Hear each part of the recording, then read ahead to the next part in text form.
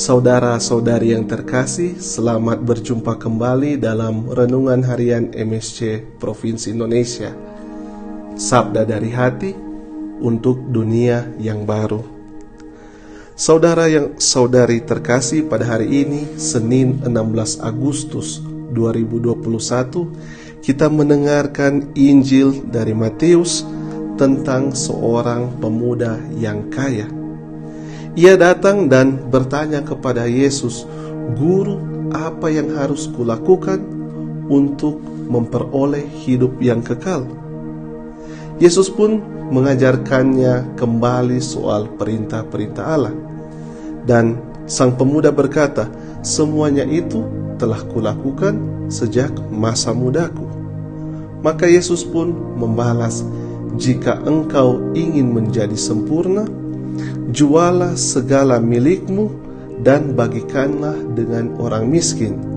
Sesudahnya, marilah dan ikutlah aku. Namun, ketika sang pemuda mendengar jawaban Yesus, ia menjadi sedih karena ia memperoleh, ia mempunyai harta yang banyak. Saudara-saudari yang terkasih, ini merupakan satu-satunya teks kitab suci yang menunjukkan bagaimana ajakan Yesus tidak berhasil.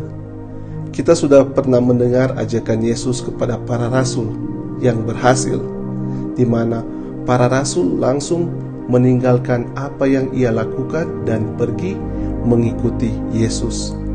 Tetapi bagi pemuda ini tidak berhasil. Rupanya apa yang telah ia miliki tidak bisa ia lepaskan Padahal ia mencari-cari di hidupnya apa yang boleh ia lakukan. Hal ini mengingatkan saya kepada kisah seorang raja yang kita peringati juga hari ini. Ialah Santo Esteban atau Santo Stefanus dari Hungaria. Santo ini begitu terkenal di Hungaria karena ia menjadi fondasi kekatolikan di sana. Lalu apa yang terjadi dalam hidupnya? Pada masa muda, ia telah memenangkan banyak perang. Namun ia merasa kekosongan, makanya ia berdoa kepada Bunda Maria. Dalam doanya dan dalam refleksinya, ia menyimpulkan bahwa ia harus menyebarkan kekatolikan di kerajaannya Hungaria. Makanya ia menulis surat kepada Paus pada tahun 1000 dan diangkat menjadi Raja Hungaria. Ia begitu dermawan kepada gereja, kepada masyarakat. Bahkan ada istilah bahwa kemiskinan akan hilang karena kedermawanan raja ini.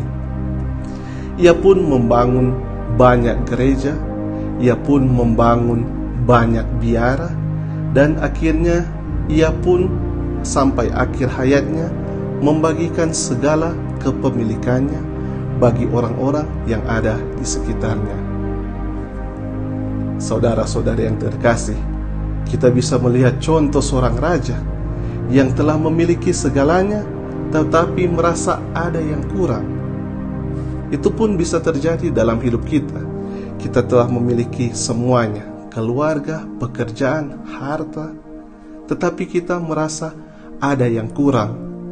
Ternyata kesempurnaan dalam hidup itu tak hanya relasi kita dengan Tuhan, tetapi relasi kita dengan sesama.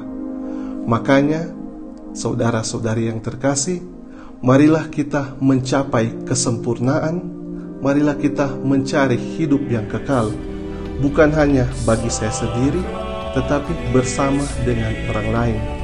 Bukan hanya bersama keluarga saya sendiri, tetapi bersama sesama yang ada di sekitar kita.